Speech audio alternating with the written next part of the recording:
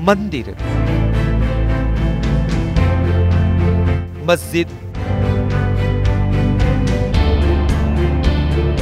गुरुद्वारे। चर्च।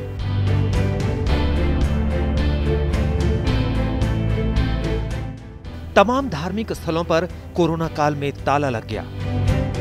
लेकिन अब फिर से आस्था के द्वार खुल रहे हैं।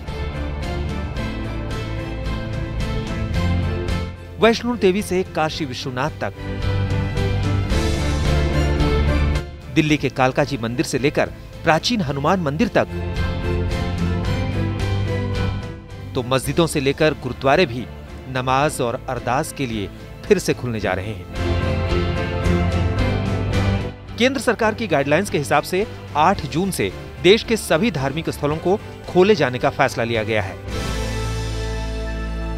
ये मंदिर, प्राचीन हनुमान मंदिर है कैनॉट प्लेस में।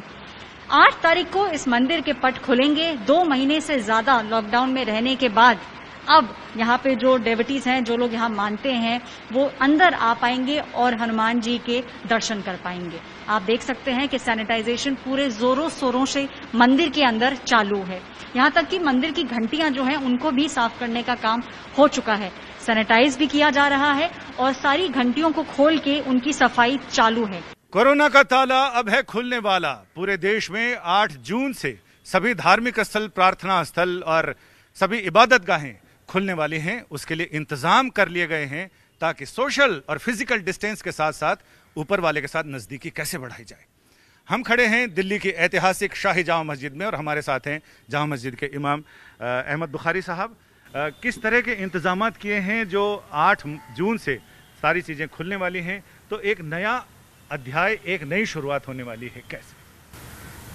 जो गाइडलाइंस गवर्नमेंट की तरफ़ से आई हैं, हमने पहले से इंतज़ाम शुरू कर दिए हैं। जैसे सोशल डिस्टेंसिंग जो है वो ज़रूरी है और लोगों को बताया भी जाएगा कि वो इस बात का ख़ास तौर से ख्याल रखें।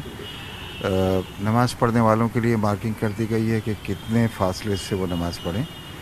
और इसी तरह जो हौज़ है हमारा उसके लिए, उसको खाली करा लिया है और लोगों से कहा जाएगा कि लोग अपने अपने घरों से वज़ू कर कर आएँ। देश भर में आठ तारीख से मंदिर, मस्जिद और गुरुद्वारे खोलने की तैयारियाँ हैं। इन सबके बीच इस वक्त हम दिल्ली के बंगला साहिब गुरुद्वारे में मौजूद हैं, जो आप देख रहे हैं, ये एक डिसइंफेक्टेंट चैम्बर टाइप बना रखा है टनल टाइप बनाया हुआ है कि कोई भी अगर इसमें जाएगा तो एक तरीके से पूरा सैनिटाइज उसको किया जाता है। पूरा सैनिटाइज होने के बाद ही कपड़ों से लेकर के ऊपर से लेकर नीचे तक पूरा जो भी श्रद्धालु है वो सैनिटाइज हो, हो जाता है। उसके बाद से ही आने जाने की प्रक्रिया होती है। लेकिन दिल्ली में चर्च नहीं खुलेंगे। आज तक ने चर्च के फादर से बात की तो उन्होंने बताया कि 30 जून से दिल्ली में चर्च खोले जा सकते हैं। लेकिन सरकार ने सभी धार्मिक स्थलों के लिए गाइडलाइंस भी जारी की हैं। धार्मिक स्थलों पर रिकॉर्डेड भक्ति संगीत बजाया जा सकता है।